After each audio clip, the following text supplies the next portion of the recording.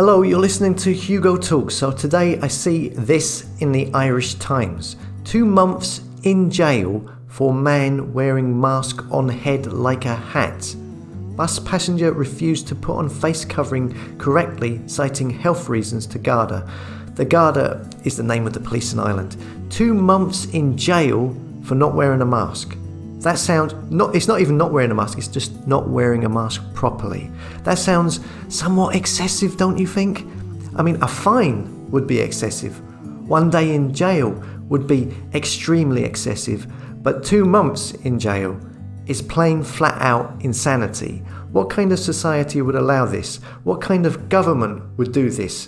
One out of control. I've noticed more and more of these types of stories appearing. There was that, that family recently who were ejected from a flight because they couldn't get their two year old child to keep the mask on, and now and now this, a two month prison sentence for not wearing a mask in Ireland.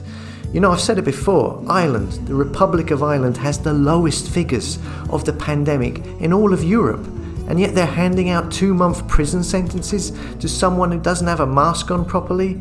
It says here a bus errand passenger who wore a mask on his head like a hat and refused to wear it properly for health reasons was sentenced to two months in prison by a district court judge on Thursday. After hearing evidence at Castlebar Court in a case against Andrew Heisman, 41 years old, Carrowmore, Knock, County Mayo, Judge Fiona Lydon said she was satisfied that all of the ingredients required to secure a conviction had been satisfied by the state. The judge sentenced the defendant to the prison term for an offence of failing to wear a face mask on public transport on Main Street, Ballyhaunis, on July the 14th last.